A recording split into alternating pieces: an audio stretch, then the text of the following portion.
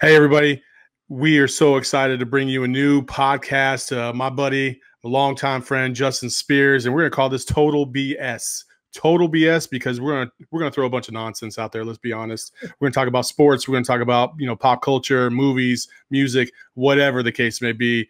I'm excited, Justin. How excited are you about this? Man, I am totally stoked about this new opportunity. And why do we call it Total BS? Well, like you said, we're going to throw out a bunch of random topics at you, whether it's sports, whether it's pop culture entertainment.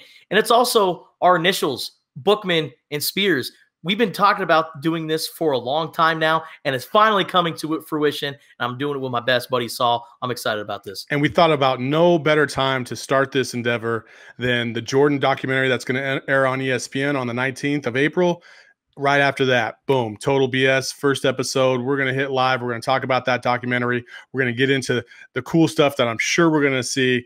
And it's just going to be awesome. It's a great launching point for both of us, especially me, because I'm a Jordan guy and you're a Kobe mm-hmm. guy. Those two are almost intertwined together. It's a great launching point. Hey, total BS, April 19th. Justin, you got anything else to add? Hop on the bandwagon now because it's going to be something special. For sure. April 19th. We'll catch you soon.